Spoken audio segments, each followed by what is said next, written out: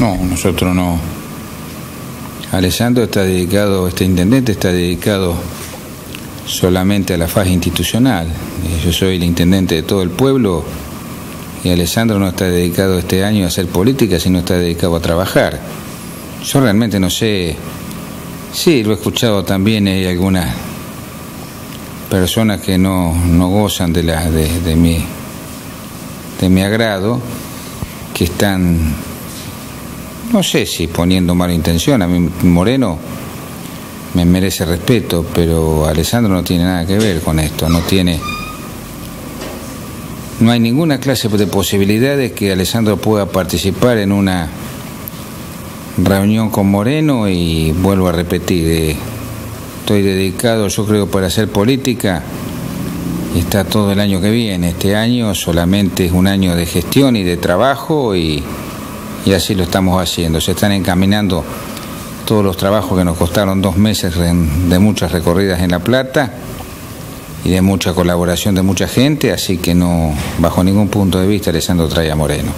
Hablando un poco de La Plata, tenemos que comentarle a la gente que está prácticamente cerrado el tema de las viviendas para asalto y que se estaría encontrando con el vicegobernador en breve. Sí, fue una gestión de la gente de Cambiemos. Nosotros por nuestro lado habíamos eh,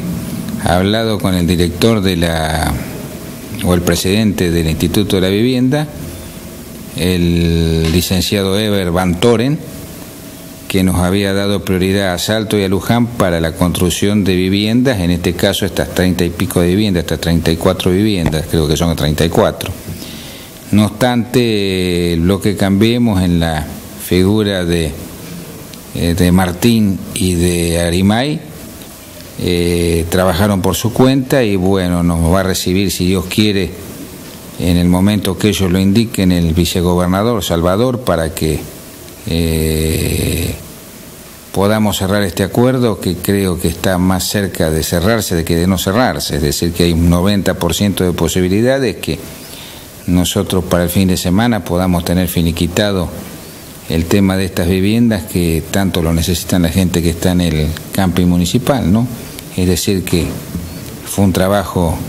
realmente en conjunto y, y me parece a mí que es realmente importante cuando las cosas en conjunto se, se trabajan de una manera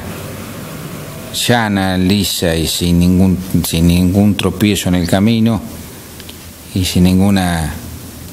trabada de nadie para que las cosas pudieran salir de la mejor manera posible y bueno, yo creo que para